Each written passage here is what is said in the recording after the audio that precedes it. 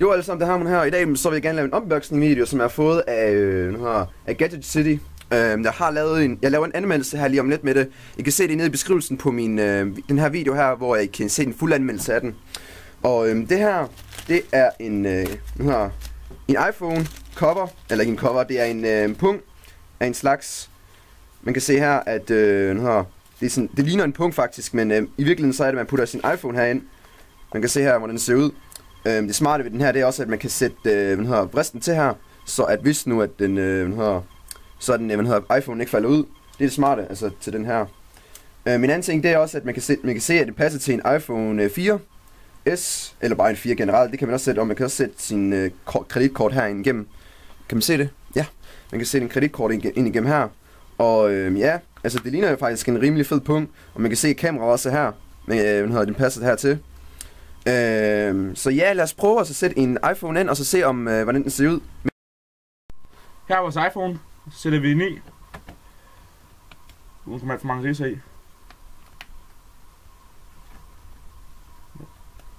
Og så bare ned med den sådan her. Så har vi den her. Det er meget smart, så kan man lige, samtidig med har man sit kreditkort og det hele, og penge og hvad med der skal hernede. Man kan have mulige sjove ting, så har man lige sin telefon her altid med sig, sammen med sine ting. Mm. Det er meget smart, synes jeg. Prøv vent rundt. Ja. Altså, sådan der, ja. Sådan der, man kan se, at kamera. kameraet passer perfekt lige her. Det er ja. Så her kan også se, der er oplader, der kommer oplader stikke lige ind. Det er helt perfekt til det. Mm. Og, og, og men der er også hul heroppe, så man kan tænde og slukke for mobilen, hvis ja. det skulle være. Og til det høretelefonen inde i. Ja, det gør. Det hele det der er fantastisk. Mm. Og det mærkes rigtig dejligt at have herinde også. Og så har den også været i lommen. Ja, den er ikke særlig stor, ikke? Nej, den er fin. Ja. ja der er dejligt øh, at røre ved os. Det er sådan, det, det leder, ikke? Ja, ja. Det, det, er rigtig, det er sådan rigtig leder, tror jeg faktisk, det er. Og der sker ikke noget, som taber den. Det er jo godt sikret, der. Ja.